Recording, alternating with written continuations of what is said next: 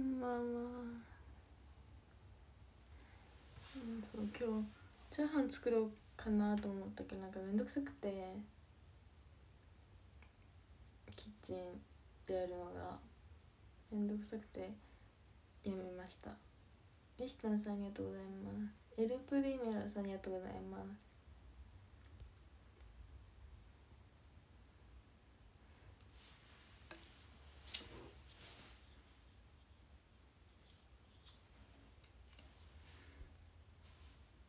ヒルシアさんありがとうございます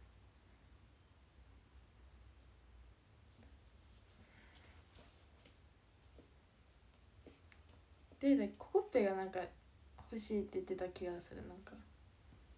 リラクマのやつ。確か。確か。今日猫のえそれな猫の部屋し。でも私ねあの全然あの今日2月22日なんだ。日付感覚がなさすぎて困る。曜日感覚あるんだけど日付感覚がなくて本当に困っちゃうんだよね。昨日豚ゲットした富士の子はやったね。あなんか絵文字の方ありがとうございます。顔文字。猫の日だ。でも何も知らないんだよねだからゆっくりゆっくり。でもそう。まあ知らないけど。今日から5連休。えってことは今日が今日水曜だからもう今日から水木金土日月。あ日曜日までってことか。ゆっちゃんさんありがとうござい。ますあと11日が超えたら卒業なんだけどって。えー、じゃあ私ももうあと23週間ってことかな。23週間いたら終わりなのかな私も。中3になっちゃう。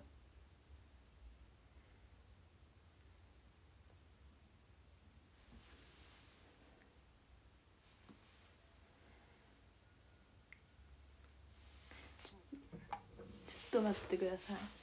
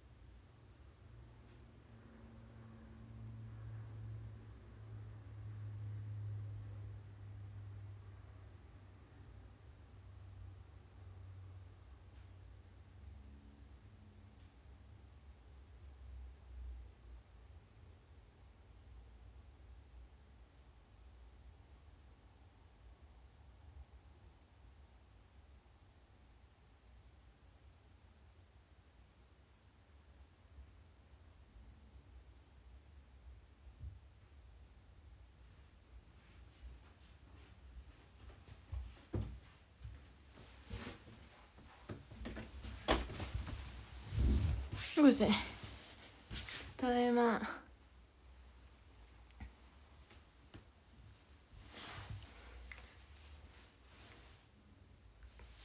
ちょっとだけ席外してただけ。どこだ。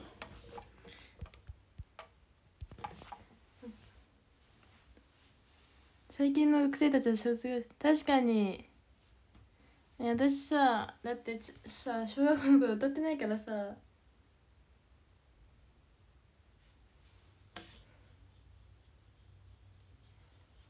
私の時はコロナが流行りだして2年目？コロナが流行りだした年の次の年にえー、っとね迎えたんですよ。卒業式というもの。その時はもうとにかく時短でできるっていう時短卒業式時短っていうか手短卒業式だから何も歌ってないけどなんか歌う予定でもなかったから何も練習してない。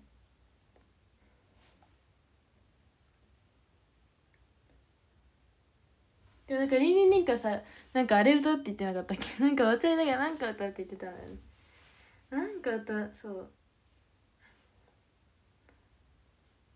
なんか歌うって言ってない。その何かが忘れちゃったんだけど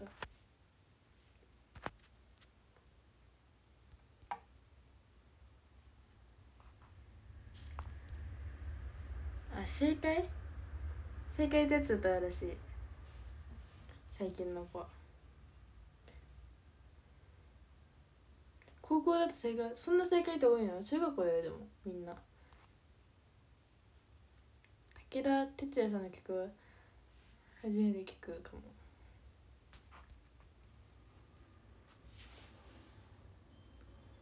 やばいお兄ちゃんがお兄ちゃんのアラームが鳴ってるけど私起こせれないから。頑張って起きてもらうか。なんかさそれさっき7時に起こしてって言われたの。お兄ちゃんに。お兄ちゃんに7時に起こしてって言われたんだけど配信するからちょっともう起こせないよって言って15分前ぐらいに起こした。なんかねあのヒートデック着てたらヒートデック上ヒートデックで下はなんか分かんないけど多分普通に半ズボンみたいなのをあの着てって別に暖房も何もついてないのにめっちゃ汗かいてて。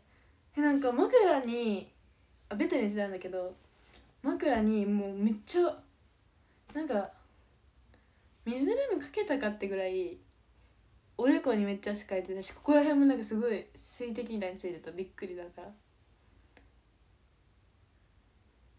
でなんかラムえほんとびっくりしてなんかひ引いちゃった。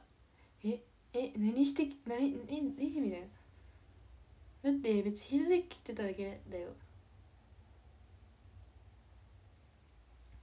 それがマジでびっくりして。まあもうアラーム止まったから多分もう起きれた。えなんかさなんか熱とかあるんかなって思うくらい汗が出た。びっくり。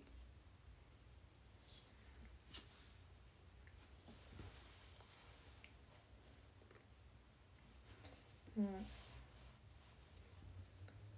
多分これからなんかがあるから。店あるのかな？ワンチャン。えマジで？そんな汗かく？ってぐらい書いてたの。なかなかないけどねそんなの。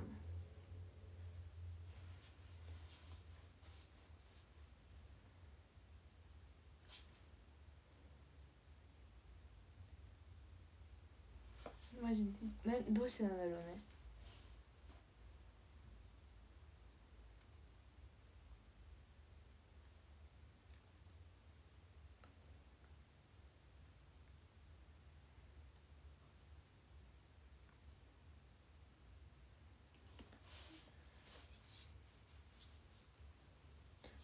お兄ちゃん起きれたかな。でもさなんか大事なあれだったらさあれだよね。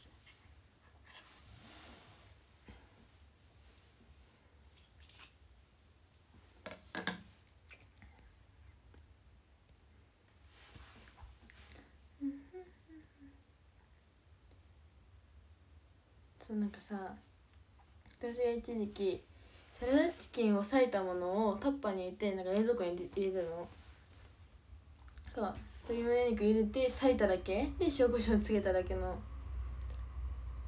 あれをタッパーに入れてタッパーに入れてな冷蔵庫に入れておいてたんだけどなんかお兄ちゃんはそれが好きらしくてやばい起きてない。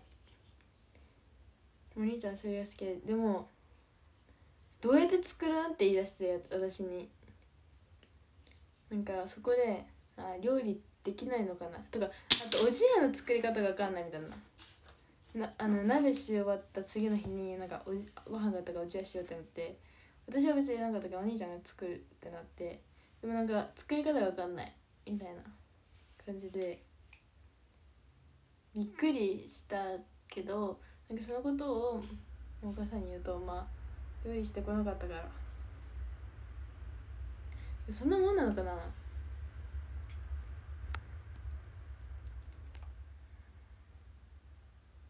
カンさんありがとうございます。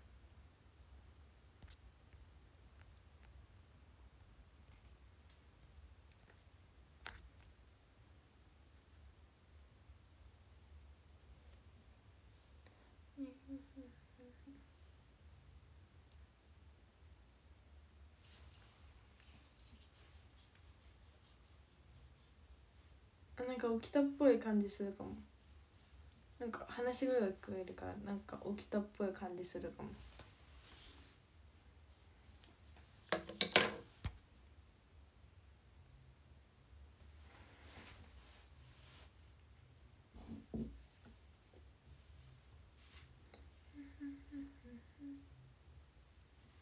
料理しない人がよくした作り方は謎なんか起きてるっぽい。よかった。私のせいにされても困るし。私は起こしたから。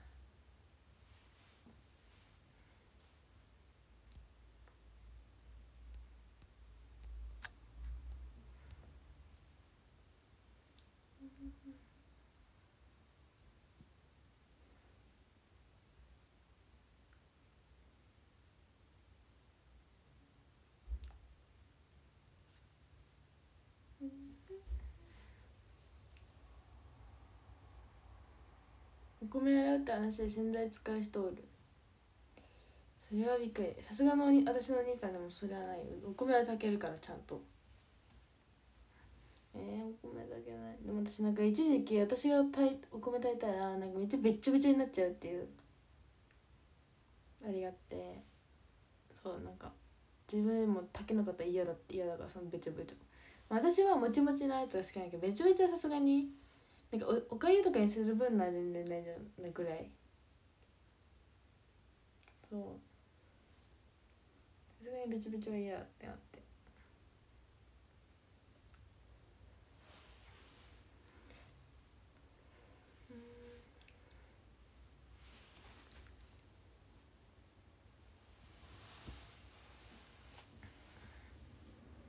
えー、水多めだったのかなんでなんでそんなにべちゃべちゃになっちゃったのかが不思議なぐらい私にも分かんない。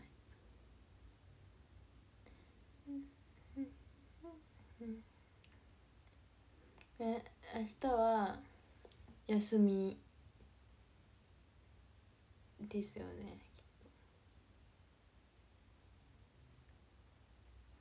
明日はね祝日？だから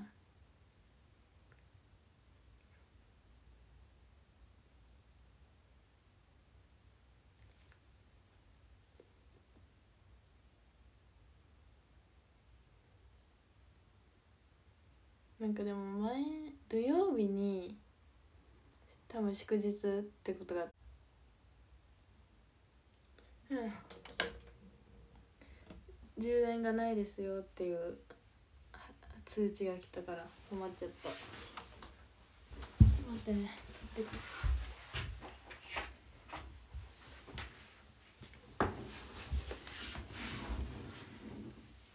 期末テストはもうとっくの前。なんかみんなは今頑張ってるらしい。分からんけど。多分。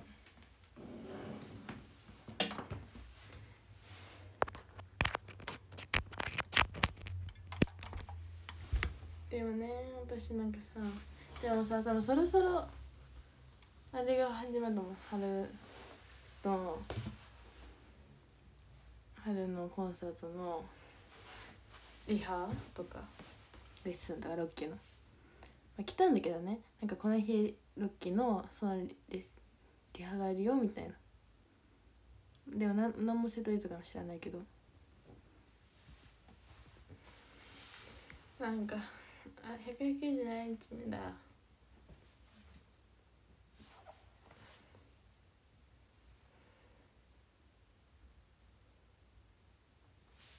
そう。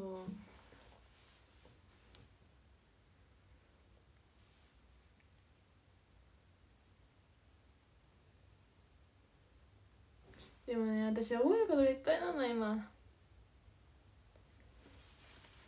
覚えることがいっぱいだから。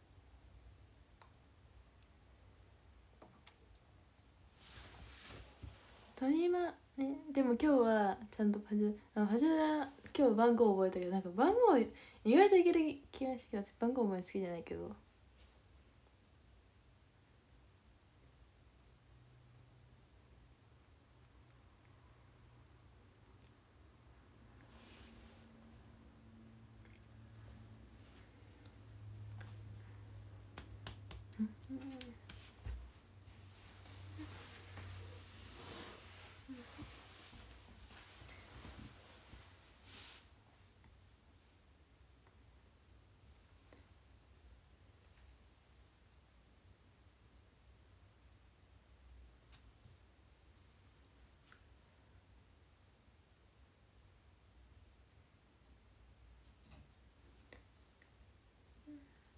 なんかお話の内容をください。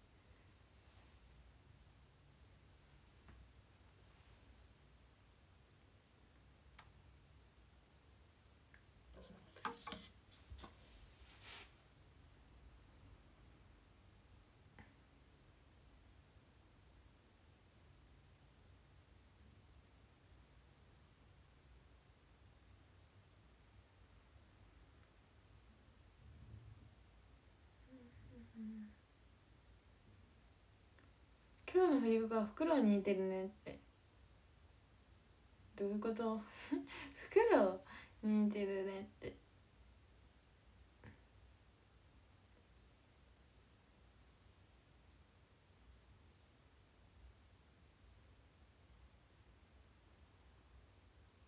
フクロウフクロウってなんて鳴く動物でしたっけ？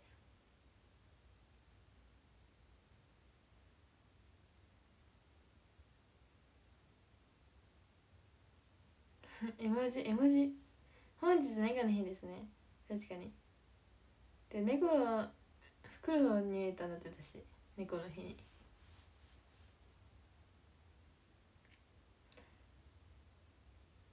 ほうほうほうあそうほうほうか。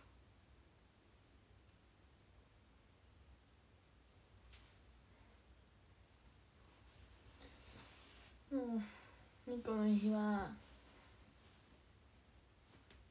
な何がねこれにゃんにゃんにゃんにゃんってこと？じゃあ2月2日だったらにゃんにゃんの日ってこ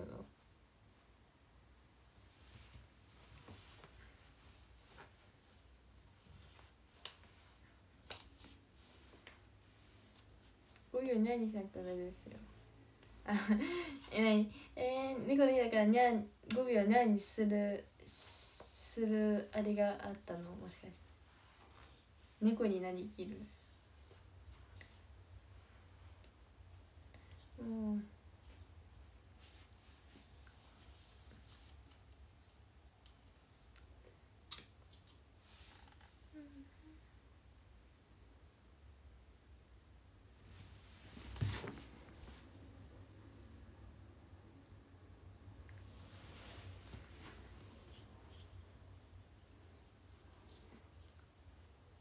でもうん。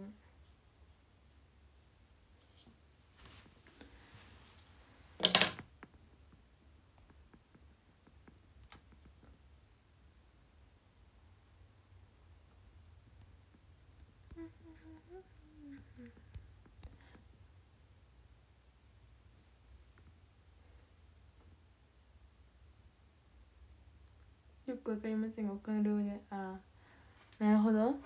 私はですねその発想はなかった。そもそも。しようっていう。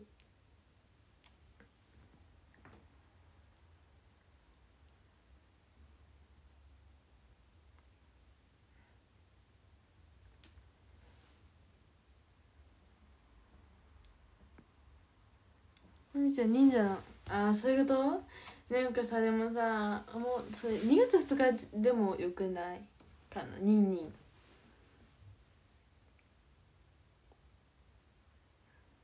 にゃんにゃんとかにゃんにゃんにゃんじゃなくてにゃんにゃんの方が馴染みのある。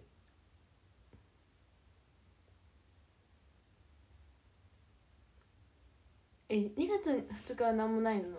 猫の日とあ2月にはツインテールの日日から日だからか。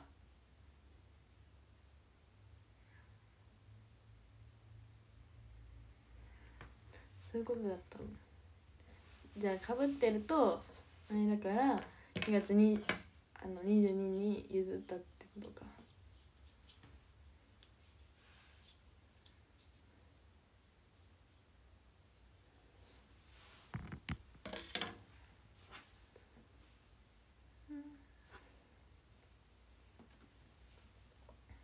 私猫があんま好きじゃなくてなんかちょっと怖い。なんか爪が立ってるっていうか爪が痛い犬がどうかわかんないし。えで私今日犬の夢見たかも。なんか犬の夢見て今日は犬の夢を見てなんかその見た夢はなんかめっちゃそこら辺に犬がいてでなんか噛んでも全く痛くないの。私でも犬飼ったことないか分かんないけどなんかめっちゃちっちゃい犬がそこら辺にファーって行ってで私はなんかその時の設定では犬がね苦手。私実際そこら辺でそこら辺っていうか近所歩いてて散歩している犬とかね見てもなんかちょっと避けちゃうの。ちょっとなんか怖いから避けちゃうから。なんか人の家で飼ってなんでんだろう。家にいる犬でもなんか犬はね自分ちおとなしいのが好きなのかもしれない。なんかお兄ちゃんお友達の家もさ犬を2匹飼ってるんですけどそのなんか多分おとなしいのがね元元気な犬かおとなしいのの方がね今度好きなのかも私のおばあちゃんち飼ってたいのはめっちゃ静かおとなしいからなんかもう自分が可愛がるだけみたいな。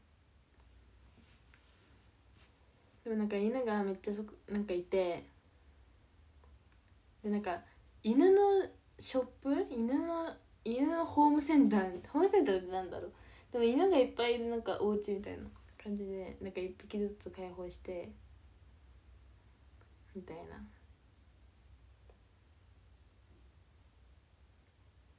そう。で私はなんかその時の設定あんま好きじゃなかったからもう必死にあのちちょっとジャンプしたりして ジャンプしたりしてなんかちょっと下げた。でもなんか噛まれてもマジで痛くないよみたいな感じの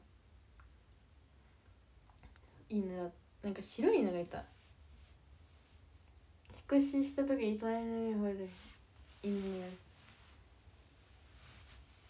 えー、でも犬はね静かな？おとなしいのが私は好きかな。まあまあ吠えない。今日は猫に噛まれる夢見した。猫に噛まれる夢は見てない。私犬になんか犬にめっちゃ懐かれる夢しか見てないけど。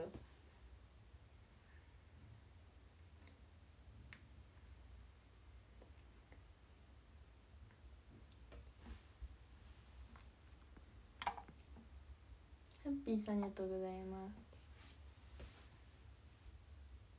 でもまあなんか友達にちょっとなんかいた時なんか爪が痛かった記憶があるからなんかここにここに膝の上に太ももの上に乗せるってことはできないなって思った私。なんか痛かったから。でも犬も痛いのかな？ペット飼ってないなも。うでもなんか私の家お母さん以外はペット飼うのはあ賛成派？もうなんなら飼おうみたいな。犬犬を飼いたいみたいな。ことをなんかもうお母さん以外は全員言ってて。そう。でもいつかしら飼いたいけど。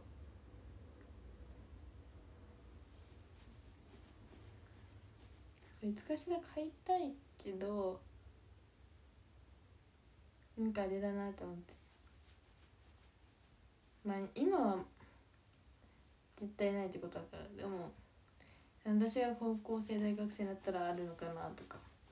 もう私の面倒がかからなくなってからなんかなっても買うのは。知らないけど。でおばあちゃんち飼ってたんだよねなんか。犬？柴犬？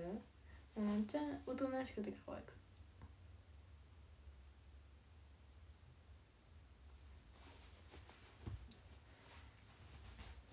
でもなんかその感動する話があってなんかねその子はペットショップにやられてた犬じゃなくてなんか保健所にいたわけでもないけどそうなんか保健所じゃないけどなんかそなんかねなんかお店？ホームセンターみたいなところでなんか里親探してますみたいな感じであそれはもう買わなくて譲り受けるみたいな感じのあれだったんだけどそうなんかね里親募集中みたいなのをなんかホームセンターみたいな場所ででなんか譲ってもらうっていう買うっていう、まあ、買うけどお金の方の買うじゃなくて飼育する方の買うだけどそう。あそうおばあちゃんになんで買ったの？みたいな。このなんでこのそう名前はあるけどなんでこの子買ったの？みたいな。話をした時にそういう場所でなんか里親募集しててなんかでも犬が欲しいって思ってたらしくて。でそなんか行ったら行ってなんか最初になんかね何匹か抱っこしたけど最一番最初に抱っこしたのがこの子だったからもうなんかこれは何かの運命だと思ってみたいななんかって言ってたおばあちゃんは。なんて言ってたけ？どでもなんかなんか一番最初に抱っこしたのなんうんしなんかまあおばあちゃん的には吠えない犬とかおとなしいの方がいいいいみたいな感じだったから。そう。運命的ですね。っていうのおばあちゃんがなんか言ってた。なんか私がね聞いてみたらなんで？みたいな。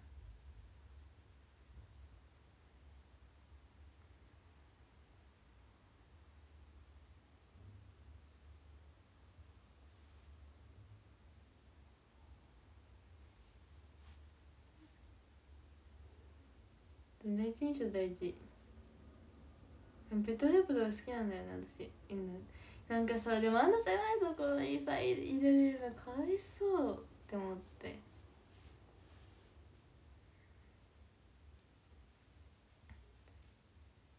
狭せあでもまあ時間によっては外あの広いスペースで遊ばせるとかもあると思うけどなんかさずっと元気だこう子犬とかマジ生まれたばっかりの子がずっと元気だからさあれの場所は絶対あれなんか狭いだろうなって。まあ若干広いスペースとか取ってたりするかもしれないけど。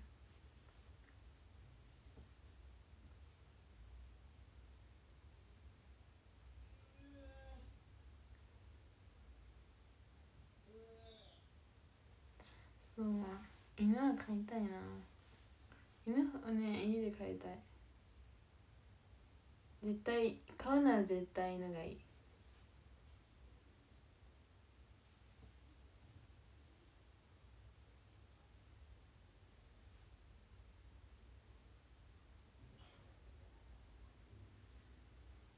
で犬と猫って同時に飼っても別に喧嘩とかはしないかな。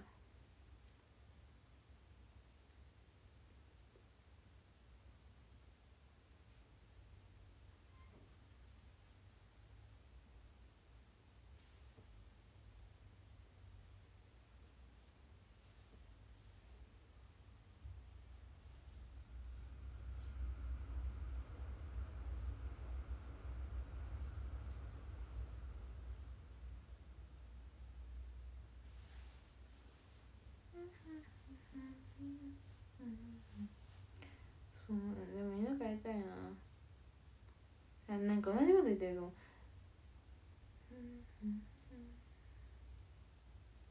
同時に飼ってる方あいるいるいるなら飼えるのか。なんかそれでも私のお兄ちゃん友達んちもなんかど猫とか犬飼ってる家系あるめっちゃ。なんかでもそこのお家はめっちゃそもそもがめっちゃ動物好きなんだね。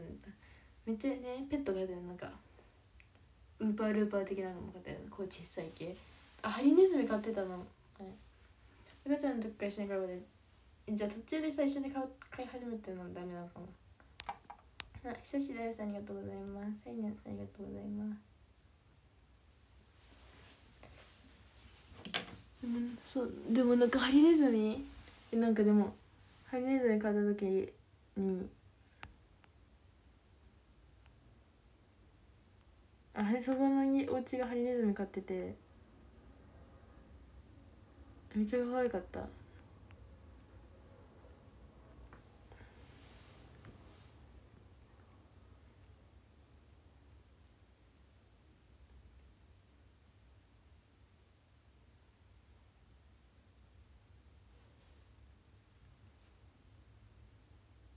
でもなんかそのそのねお家のそのうちのワンちゃん。なんかね大きくて白い。あれって何ていう犬種でもなんか白いなんかモフモフの犬種ってわかります？なんか。その子はめっちゃおとなしくて。なんかねちょっとねその近く家が近い人で集まった時があってなんか何何かがあって集まった時があって。そうその時になんかねその犬を謎に連れてきてたのそのお家の方こ人が。で私がずっと抱っこしてたんだけど可愛くて静か。やっぱ静かなっていいよね。なんかしかもめっちゃ動かない。マジ人形。可愛いし。重くもないし。マジ人形すぎてびっくりして。なんか静かで白くてなんかモフモフの研修？でもまそこそこでかい大きいと思う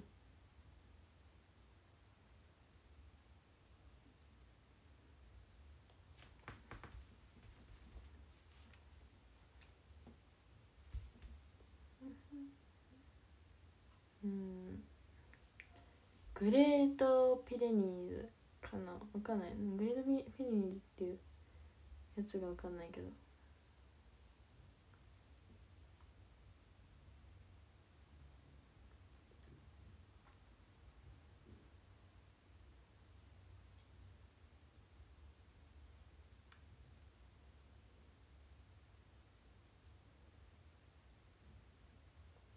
ピレニピレピレニーズ？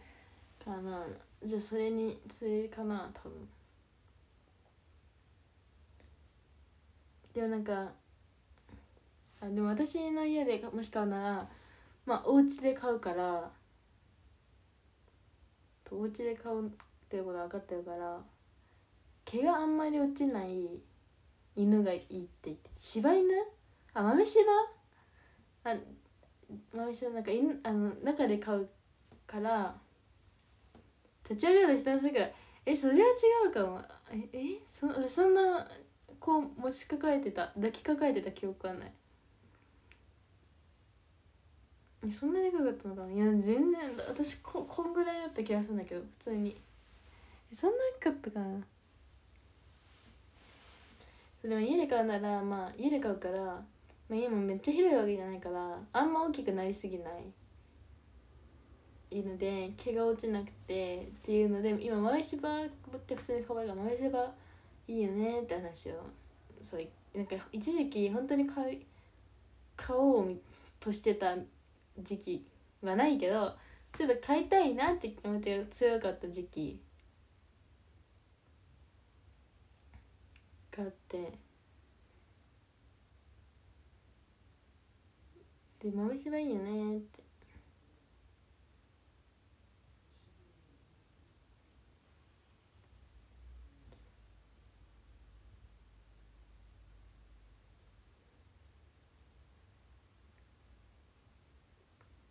でもやてかわいいなんかさ家に帰ってきたらさ玄関までお迎えしてきてくれないかな。あでも別に家に誰もいない時はゲートの中とかいるのかな。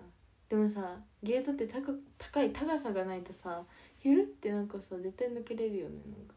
ジャンプとかしたら。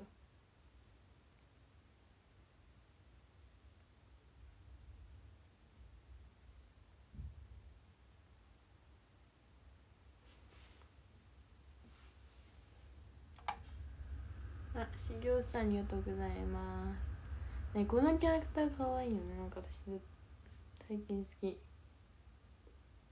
犬って意外と出た人がえそうなんだなんか私のおばあちゃんは正月とかなんかおばあちゃん家に集まったら大体とんかつとか唐揚げだからその余ったやつをなんか犬にあげてました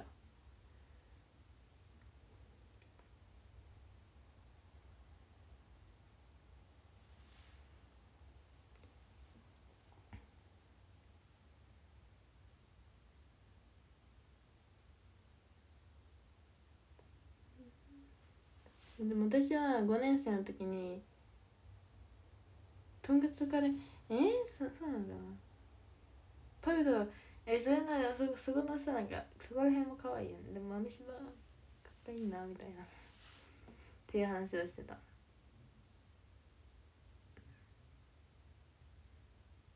でもその犬はなんか何でも食べる子だったからちょっとあんまよくないけど。毛がない犬がいいってわけじゃなくて毛が短い。あそう5年生の時にでも飼育員しててその時でもねその時は飼育員ってさやっぱさなんかこの生き物だからウサギ飼ってたんだけどその時は。でも生き物だからさなんかでなんか4年生の時から委員会があってでも4年生の時はなんか途中からなんか委員会になれるために本当は5年生からなんだけどその委員会としての仕事は。4年生のマジで後半ぐらい。6年生がもう卒業するってなった時に4年生と5年生でやっぱそのやらないと5年生だけじゃ絶対できないからってなって45年生で頑張る時期があるんだけど。なんかその時は放送部してたんだけど5年生になって初めて飼育員してで飼育員男女2人4人いたんだけどなんかその時に誰も飼育員経験がなかったの。なんか他のクラスは1人ぐらい飼育員の経験があった子たちはが1人ずつぐらいいたのに私たちの時誰もいなくてでも別に教えられないなんかこれこうすんだよこうすんだよこうすんだよとかなんか教えられなくてそうなんかもう手探りでずっとやってたんだけどそうでもなんかペットのそうやって大変そうですよね。なんかまずうさぎを外に解放させて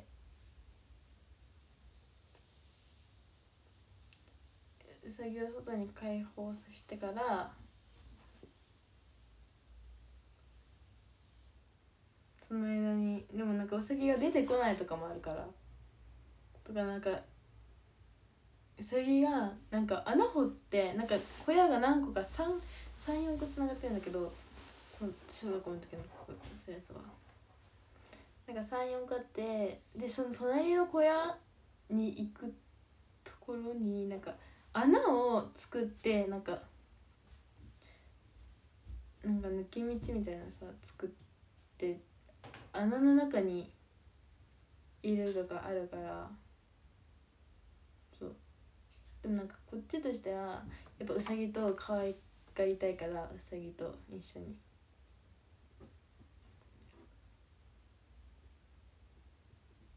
けどまあなんか出てこなくて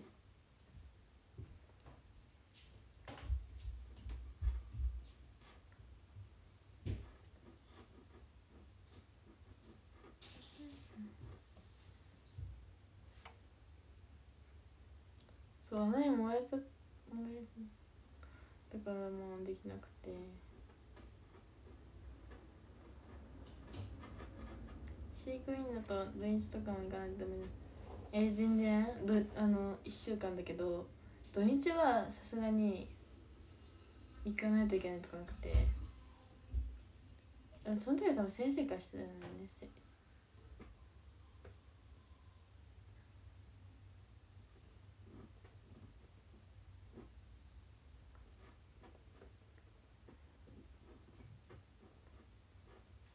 でもそうまあその穴はそううさぎたちが多分もともともろくてうさぎたちが作っちゃったんだけどなんか一回人工的に作っちゃったことがあってなんかさ私たちの週の時に、まあ、いつも通り4人でやっててなんかなんかその若干ぽっちゃりめの子がいてその子がなんかでも別になななぜかわかんないけどなんかその子が乗った瞬間なんか穴が入り口付近にその声入って入り口付近に穴がドーンって開いちゃってえでもこれは反対に理解なの？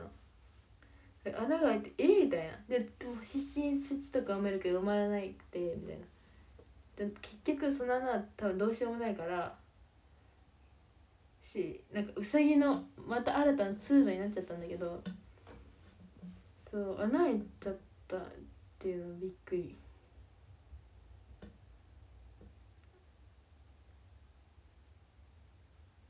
うん。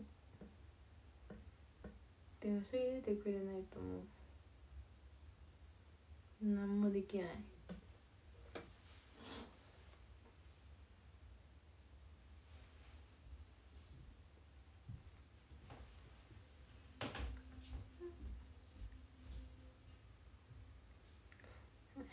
今何時だ？今はしちょっとりますね。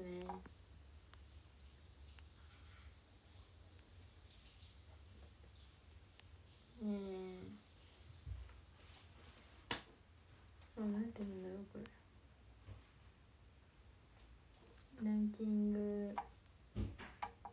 で13位。ここうこうコーダコーディアかわかんないけどありがとうございます。12ヘルシアさんありがとうございます。12なんか顔文字の方ありがとうございます。10位中地さんありがとうございます。9位バイケンさんありがとうございます。8位コチンさんありがとうございます。7位、えー、フェッシュさんありがとうございます。6位オトーピアさんありがとうございます。5位、あきちゃさんありがとうございます。4位、ハッピーさんありがとうございます。3位、BJ さんありがとうございます。2位、ルプリメルさんありがとうございます。1位、サイニャンさんありがとうございます。